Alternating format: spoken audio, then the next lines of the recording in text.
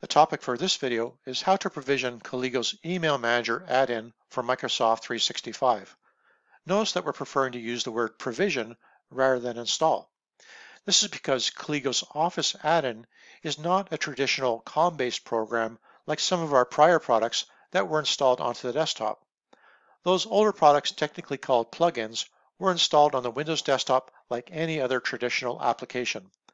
By contrast, modern add-ins for Office do not technically require installation. This is because core functionality does not need to be run on the desktop, but instead is run on a Colligo Azure server in the cloud. No significant code is installed on your Office tenant or desktop.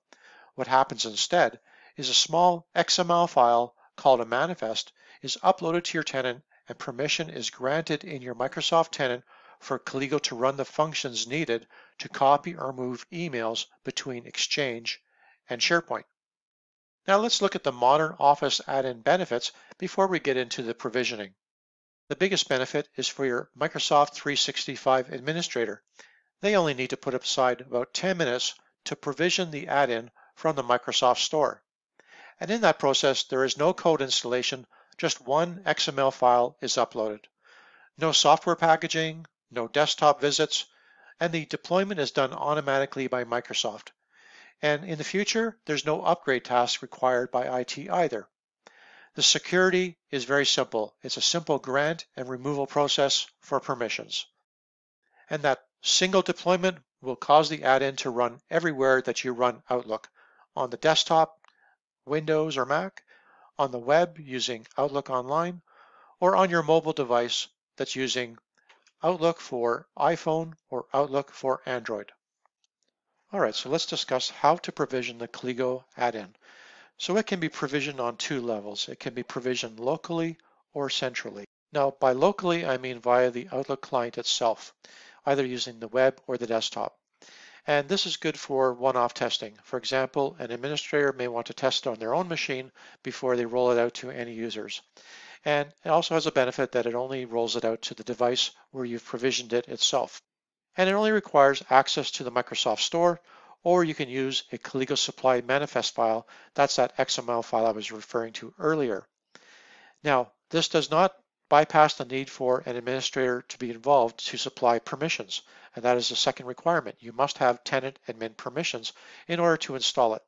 And so you cannot just have an end user installing Colligo and uh, testing it out on their own. They do need to coordinate this with the administrator. Now, the second way of provisioning is centrally via the Microsoft 365 Admin Center. And this is popular when you want to get a group involved with testing and also, of course, for final rollout. And this is provisioned to all the Outlook instances used by that user. So if that user has their desktop instance, Mac or Windows, or using it Outlook on a browser or have a mobile app, it's just one exercise to deploy it to all those devices. And also the deployment is done completely automatically by Microsoft, and it could take up, up to 12 hours, but usually it's much faster. Okay, so enough slideware. Let's get into the actual provisioning process. So we'll start with the local version. All right, so here in my Outlook Windows desktop, I have my icon here. So how do we get this icon to show up so that we can click on it and then start using it? All right, it's not going to show up unless we do the following.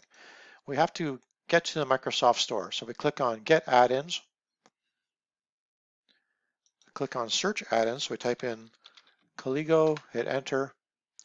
All right, and then it magically shows up.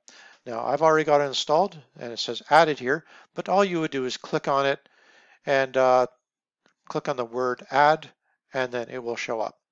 And at that point you do need to have your administrator involved to get it to actually work. So when you actually activate Colligo for the first time, uh, you will get a login screen. You'll log in and then it will ask you to provide permissions. And I will pop up a screen of what that screen will look like here. Okay, so this is the uh, form that your administrator will see uh, if they're helping you at your desktop. Uh, they will need to click on consent on behalf of your organization, and then they will be required to log in with their administrator ID. After that, then you will be able to use it on your own desktop. Of course, we're expecting the administrator to be the person that's likely doing this in the first place. Now, some companies may have blocked the access to the Microsoft Store. So when you click on Get Add-ins, you'll not actually see the choice of add-ins here from the store. But under My Add-ins, you will likely see a section down about halfway here called Custom Add-ins. And this is what you can use to add a custom add-in from the XML file that Colligo can provide. So simply a matter of clicking on Add a Custom Add-in, and instead of using a URL, uh, we will give you a file, and then you simply click on Add from File, select the file that we give you, and the rest of the steps are the same. Okay, so now we'll look at the centralized method for deploying the add-in. So here I am in the Microsoft 365 Admin Center, and I'm looking for settings. I don't see it, so I'll click on Show All, and there's settings. Open that up, go down to Integrated Apps.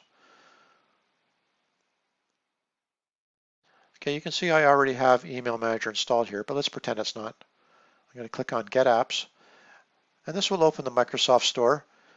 Now, one thing we've noticed is that the Microsoft Store doesn't seem to work properly with Microsoft Edge at the moment, so we're using uh, Chrome by Google. So here, just like when you're installing it locally, all you have to do is search for Colligo with two L's. All right, it comes up like so. Here's Email Manager. You click on it. You can read through the information if you wish, watch a little video, and then click on Get It Now. Uh, there's some information here on your agreements. Hit Continue.